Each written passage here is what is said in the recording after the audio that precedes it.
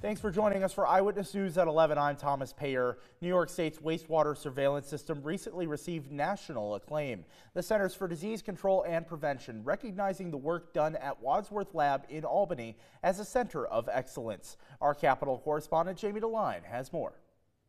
At the Wadsworth Lab in Albany, wastewater samples from around the state are being tested for diseases. It's a powerful tool.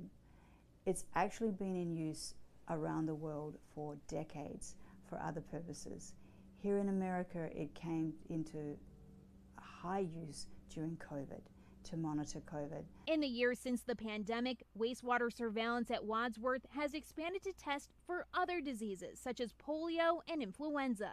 According to Dr. Kirsten St. George, this surveillance can detect symptomatic and asymptomatic diseases circulating in communities before an outbreak starts. It can give a, a one week and sometimes even up to two week advance warning of an uptick in hospitalization for COVID, for example, which is very helpful for uh, hospitals being able to prepare for a surge in uh, inpatient um, traffic. So, how does it work? The team at Wadsworth showed us how they test for influenza A by concentrating wastewater. From there, genetic material is extracted and molecular tests are done. Dr. St. George says this also helps to detect the disease level, which is important.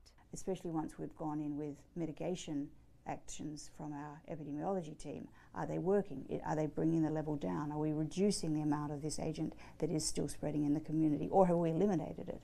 So these measures are very important, and the digital PCR chemistry is extremely accurate at doing that. There are now six centers of excellence throughout the United States. New York State's wastewater surveillance program is now one of them. It comes with responsibilities. You know, we are assigned a jurisdictional area for the northeast of the United States and we are responsible for sharing our expertise and methods and uh, knowledge and training skills with those other areas around the northeast of the state. Reporting in Albany, I'm Jamie DeLine.